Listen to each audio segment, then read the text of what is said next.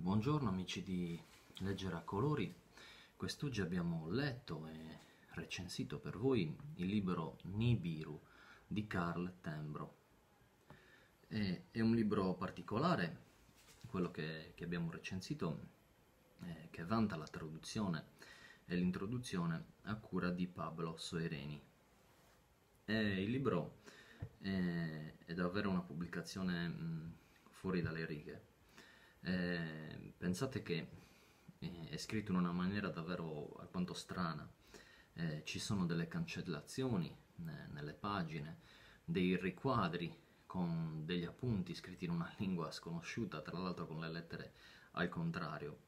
Eh, quindi è davvero avvolto in un alone di mistero, come per l'appunto il, il nome dell'autore che è Carl Tembro e sembra sia uno pseudonimo utilizzato da, dal, dal, da chi ha creato questa, questa storia, questo romanzo.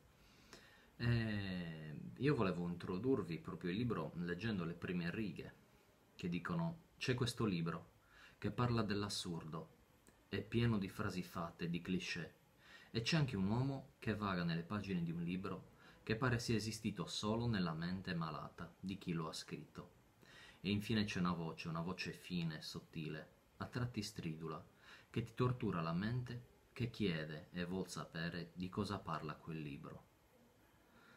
Ecco, e da qui parte un po' la, la spiegazione di questo personaggio principale, di, di quest'uomo che è chiuso nello studio di casa sua a tracanare whisky, a bere, a, a viaggiare nella sua, nella sua follia, nella sua mente io mm, sono andato un po' a curiosare in internet cercando qualche, qualche appunto sull'autore, sul libro, ma è davvero molto difficile trovare qualcosa che spieghi un po' chi è questo autore, questo personaggio.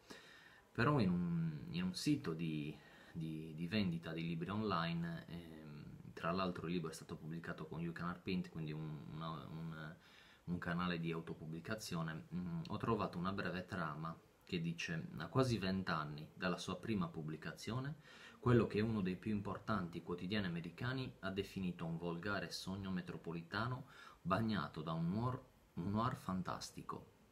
Viene pubblicato nella sua versione completa, non privata quindi dei famosi tre capitoli censurati, Nibiru di Carl Tembro, un'opera surreale dei tratti orrorifici che trasforma il mondo quotidiano in qualcosa di assurdo, una macabra, rigorosa, progressiva allucinazione che esplode in una lunga discesa verso l'abisso della follia umana. E in effetti andiamo un po' ad indagare nella follia umana con questo, con questo libro, eh, proprio perché l'autore mh, mm, ha descritto questo personaggio folle che leggendo le pagine del libro sembra che sia proprio lui che, che scrive, che descrive un po' la sua, la sua vita. Eh, io nell'introduzione l'ho paragonato un po' al Jack Torrance del, del capolavoro di, di, Stephen King, di Shining, eh, poi tra l'altro è diventato un film cult e ho paragonato un po' questo Jack Torrance al personaggio di questo, principale di questo libro, perché sono accomunati tutti e due dalla follia umana, eh, dalle, alcune caratteristiche anche del, del carattere. diciamo che... Mh, lo scrittore eh, ha messo su quest'opera che sicuramente verrà apprezzata molto dagli amanti del, del genere. È un libro mh, scritto in una maniera particolare, io fino ad oggi forse non avevo mai letto eh, una pubblicazione scritta in questo modo. E, come ho scritto nella recensione, non aspettatevi da questo libro un linguaggio accademico da premio Campiello, ma tutt'altro, aspettatevi il sangue, l'alcol, le, le, paranoie le ipocondrie ossessive di questo, di questo protagonista. È una storia mm, un po' macabra che parla di, di questa persecuzione mentale, di, di questo fuggire dalla, verso, dalla società, di, di, rinchiudersi un po' i, con i propri demoni. Eh, e quindi mh, mm, è sicuramente un libro mh, mm, abbastanza pesante, ma che secondo me merita un approfondimento. E, come vi dicevo, il personaggio principale beve molto eh, già dalle prime pagine si capisce che è, è turbato, è ossessionato da un qualcosa di, di terrificante, da un evento particolare che poi ha fatto esplodere dentro di lui tutti questi sentimenti e in effetti leggendo pagina per pagina troviamo poi delle domande che si ripetono, tipo perché lo hai fatto? Quindi un'inquisizione, no?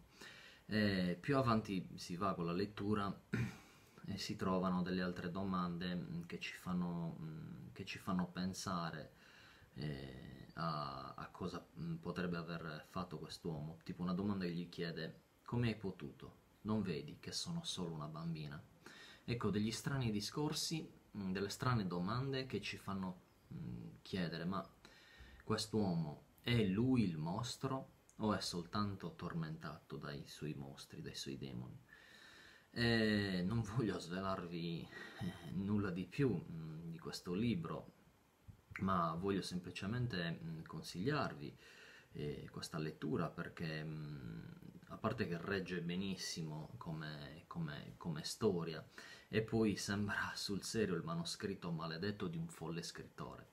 Quindi io da, da amante del brivido degli autori come Edgar Allan Poe, come Stephen King, non, non posso che consigliarvi questa pubblicazione, perché credo che mh, mm, mm, a distanza di, di, tempo ne sentiremo parlare, eh, perché è un libro davvero particolare.